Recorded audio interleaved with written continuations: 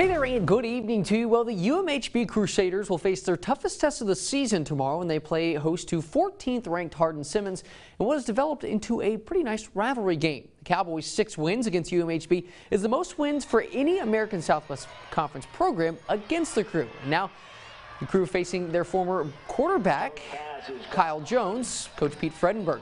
Liked Jones coming out of high school, but he's glad he's finding success, even if it's with the rival Cowboys.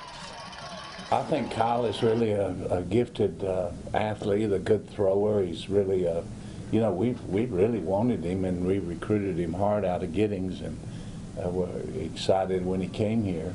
You know, I don't think that he had the uh, career that he wanted here, and then he'd always dreamed of going to Texas Tech, so he left here and went to Tech, and then I think his family ended up in the Abilene area, so he wanted to get back to playing he, he did a nice job Saturday.